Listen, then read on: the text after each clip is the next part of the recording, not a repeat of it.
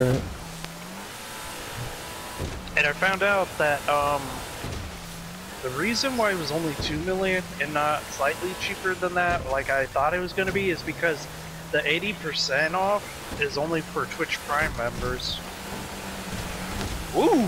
Hello. Hello. Hello. oh, hello. Hello. I'm stopping and recording that.